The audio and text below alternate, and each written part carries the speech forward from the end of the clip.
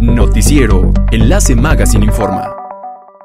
Bueno, yo, yo estoy de acuerdo con el presidente eh, López Obrador de que se tiene que combatir el robo de combustible. Al final del día es un robo a, un recurso de la nación, que eh, ese recurso se podría utilizar los ingresos para otro tipo de programas, por ejemplo, programas sociales, para escuelas, para, para clínicas, etcétera. Y yo creo que eso sí se tiene que combatir. En donde creo que está la falla es en que la, la estrategia para la distribución fue un error porque en la medida de que sabemos, primero, que se,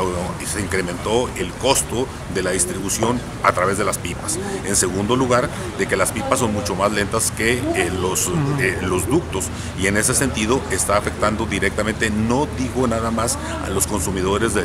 gasolina por parte de los particulares en los vehículos, sino se está viendo afectada la economía eh, nacional o regional en, las diferentes entidades en donde está existiendo el problema, porque está está afectando la distribución también de alimentos, está afectando que los niños no acudan a las escuelas porque los padres tenían una ruta para ir a trabajar y dejar a los niños y ahora no se tiene el vehículo, o está afectando directamente la planta productiva porque muchos trabajadores no están yendo a trabajar. Ustedes saben que muchas de las maquiladoras, por ejemplo, este, eh, como parte de las prestaciones, tienen que la maquiladora les da una ruta eh, en un camión para llevar justamente a los trabajadores a la, maquiladora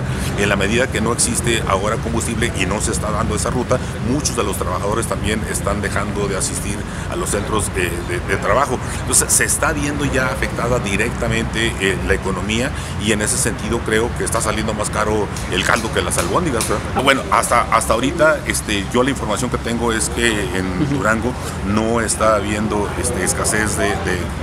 de gasolina y que se tiene alrededor de una semana de reservas en ese sentido no habría ningún problema, ¿verdad? porque si el gobierno federal está diciendo que en los próximos días va a solucionar y se tienen reservas de una semana aquí en, la entidad, pues me parece que afortunadamente no está viendo. Y lo estamos viendo aquí en las gasolineras, aquí mismo las que está, la, que está a unas cuadras de aquí, justamente en 20, donde no hay ni siquiera ninguna fila para eso. Qué bueno que, que no está llegando todavía ese problema que hay en la entidad, pero sí hay muchas entidades, sobre todo del centro del país y sobre todo el día de hoy ya se está agudizando mucho más crítica cosa en la Ciudad de México. Ahora está usted bien informado.